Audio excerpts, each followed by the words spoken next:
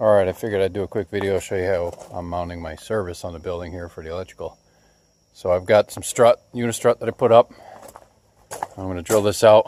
It's gonna be a two inch pipe going inside for 200 amp service. I've got a 10 foot stick of two inch rigid pipe. That's gonna go up and through the soffit there. Oh, there's my meter socket sitting on the ground. And what I did on the inside of this building um, is I found a 2 by 12 and I screwed that with a few screws from the outside in that are going to be behind the meter socket just to hold it, um, hold this piece of wood. And then um, that way I got something to screw into that's a little thicker than just the tin um, for the, uh, the unistrut. Pieces that I'm going to put up top to support the pipe and the meter socket. So I've insulated around it. Um, and now I'm going to throw a sheet of three quarter plywood. Got some surplus stuff here from work. It's free, it's for me. So uh, what I had to do is shim that out a little bit more so that the plywood will sit flush against there. And once the plywood is on, I'm using three quarter. So I'm, once the plywood's on there, I'll screw it to this and that'll really stiffen it up. Um, the rest of the building, I'm gonna do a little differently. But this one spot here, just to keep this rolling and get this done, uh, that's how I'm gonna do it. All right, so I got my meter socket all mounted up. Some uh, spring nuts that are all bolted in.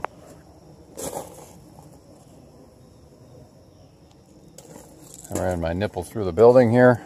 Plywood's on the wall. And I mounted the panel right up. My nipple coming through for the feed. So I'll, what I'll do is I'll bring the feeds up and around and in.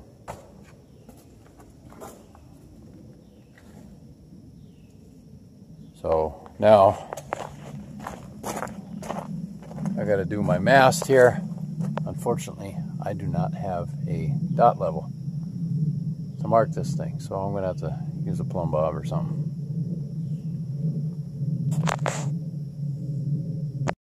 All right, so I've got my uh, meter socket and my mast up.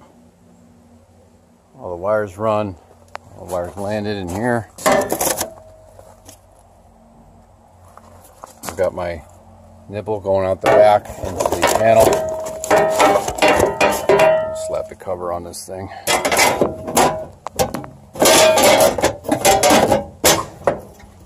There, that's buttoned up. Now, here's the panel mounted inside.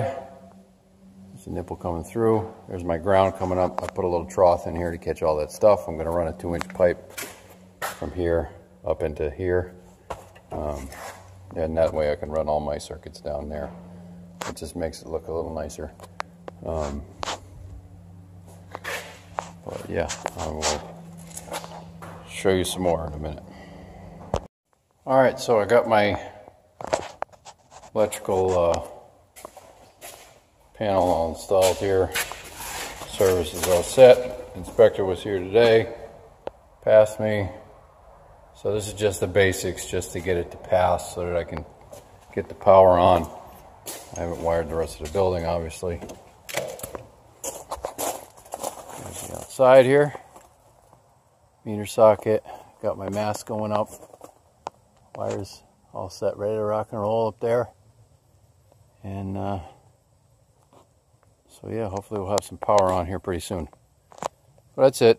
Now, if you're installing one of these, um, buildings and you need an electrical service on it, depending on the state you're in, you're going to need a um, a licensed professional to do it for you. I'm I'm a master electrician, so I have my license for this. I pulled a permit. Um, I cleared everything with EverSource. So, but this is just how I installed it. Um, I figured it might help somebody out seeing how how I put it on the building itself. Um,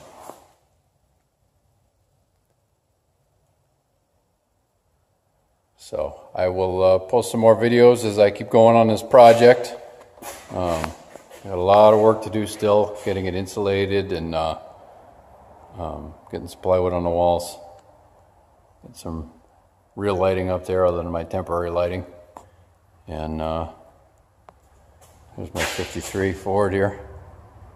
This is going to be her her bedroom. Anyway, I'll post some more as I keep going. Thanks for watching. Please subscribe. And see you guys soon.